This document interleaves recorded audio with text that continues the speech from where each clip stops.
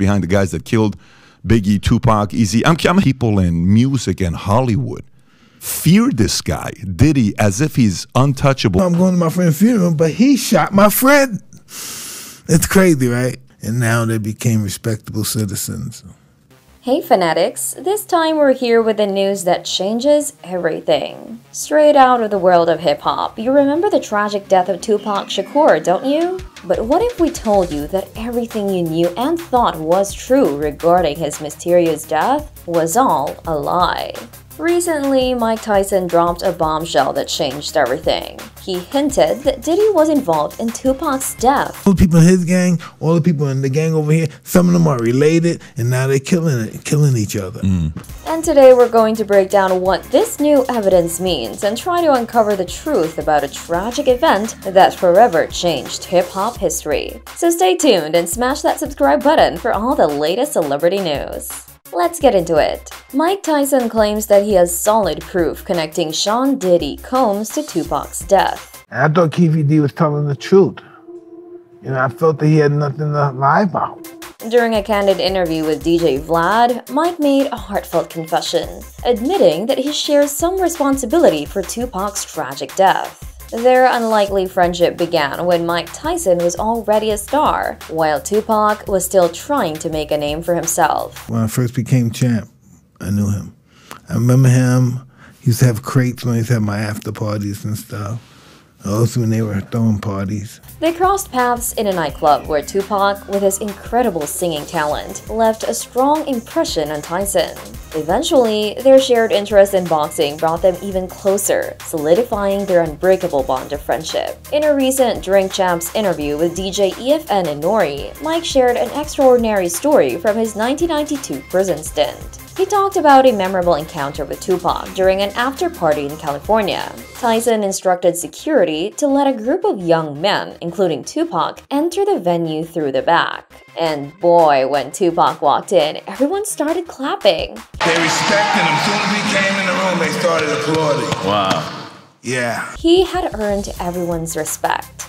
It was simple. If Tupac liked you, it was all love. But if he didn't, he was ready for confrontation.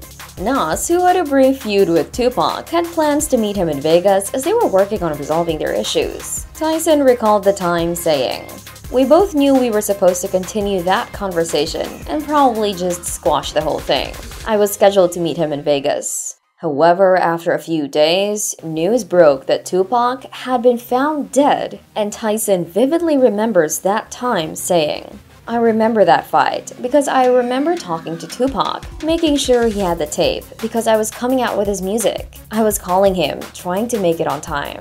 Tyson, who was just coming out of the music world himself, had decided to meet Tupac on his own. Unfortunately, the meeting couldn't happen because Tupac tragically passed away that day. Now, Mike was at home with his newborn daughter when he got the devastating news. Here's how he recalled it. I couldn't believe it. I told him I am coming to see you. I got dressed, but then I had to go see my daughter. Somebody told me he had been shot, and the next morning, they released the news that he had died. To this day, Tyson carries the weight of regret, haunted by the idea that if he had arrived just a few minutes earlier, he might have been able to help Tupac and prevent his tragic death. His heart still aches with the pain of not being able to protect his friend and witnessing the aftermath of that fateful night. He carries this burden, wishing he could turn back time and change the course of events. The memories of their friendship and the strong bond they shared serve as a constant reminder of what could have been and the profound impact Tupac's loss had on his life. Tyson said, Expecting someone to die after a fight, someone getting hurt, or something crazy happening is one thing. But what happened to him, it was different.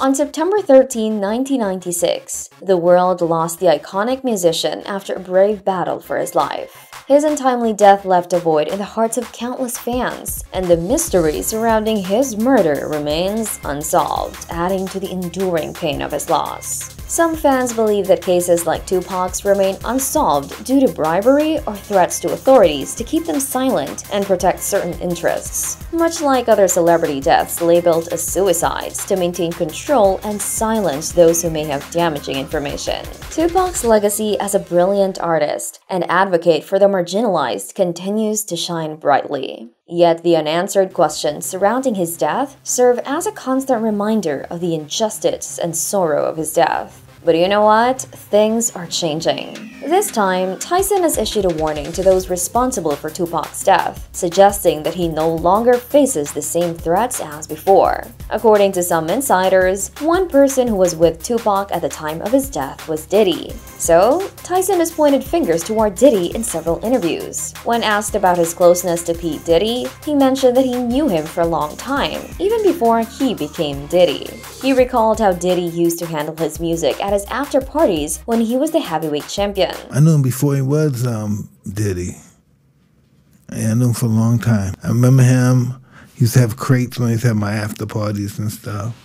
Also when they were throwing parties. Tyson also reflected on his journey and how he had managed to leave negative influences behind, a stark contrast to his past experiences. He reminisced about his early years when he was 11 or 12 years old and how it amazed him to think that he had left certain people behind, believing he would never see them again at that level. He also acknowledged that success had touched the lives of those people as well. Regarding Diddy's possible connection to Tupac's murder, the focus on this matter intensified when the case of Biggie Smalls' murder was reopened in 2006 at the request of Biggie's mother, Voletta Wallace. During this process, LAPD Detective Greg Kading stumbled upon new information that seemed to link Diddy to Tupac's killing. Kading was part of the multi-law enforcement task force investigating the murders of Tupac and Biggie. He came across evidence that clearly suggested Diddy's involvement. Kading believed that both Biggie and Tupac's deaths were connected. He uncovered fresh evidence while investigating Biggie's murder that linked both cases. His assistants to take care of of uh, Suge. And of course, Tupac's name came up and he was kind of added to the list, according to Keefe D. Kading stated that during his investigation, they discovered that Sean Puff Daddy Combs allegedly ordered a $1 million hit on Tupac Shakur. The motive was believed to be connected to the heated rap feud involving Diddy and Biggie Smalls. Kading also asserted that Diddy had significant gang connections in Los Angeles and had enlisted the services of Crips member Dwayne Keith Keefe D. Davis to carry out the assassination. According to Kading, Tupac's murder was orchestrated by Crips gang member Orlando Baby Lane Anderson. Initially, Keefe D was supposed to carry out the hit, but a last-minute change resulted in Keith's nephew performing the assassination. Hours before the shooting, Baby Lane had a physical altercation with Tupac at a Las Vegas casino. After the shooting, Diddy heard about Tupac's injuries and hospitalization. There are claims that Biggie Smalls' former wife, Faith Evans, was aware of Diddy's alleged plot to kill Tupac. After Tupac's murder, Keefe D reportedly reached out to Diddy and Evans to inform them of their involvement in the tragic event. Fans have been vigilant and attentive to this case, and they were aware of many details before the official investigation began. Some fans have questioned the autopsy process, while others have expressed anger and frustration over Tupac's murder. Tyson himself has issued a public warning to the person responsible for Tupac's death, indicating that he won't let them off the hook if he ever comes across them anywhere.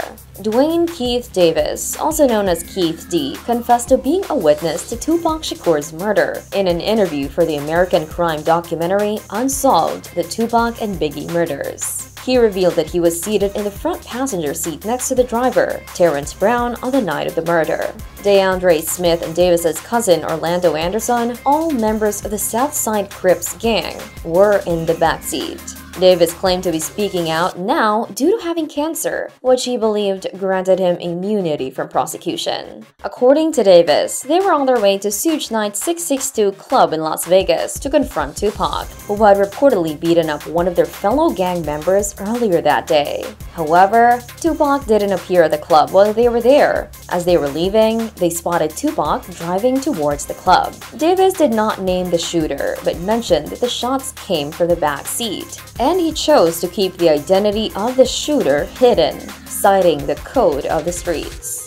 He also shared details about the altercation and claimed that he never received the promised million dollar compensation for his involvement. There were definitely allegations that Diddy was involved in Tupac's murder, and these claims have resurfaced in recent years. Davis went ahead and made the dramatic claim that not only did he notify Diddy about the murder plan, but he was also able to receive a payment of $1 million from the hip hop star. Furthermore, Davis has hinted at Diddy's active role in plotting the assassination. His confession certainly adds to the complexity of the case, but it remains a subject of ongoing investigation and debate in the public eye. Some other figures in the music industry, like Eminem, have also raised questions about Diddy's potential involvement in the past. Now, obviously, Diddy has consistently denied any involvement in Tupac's murder and called such allegations lies. But what do you think? Drop your thoughts in the comments below and we'll catch you in the next video.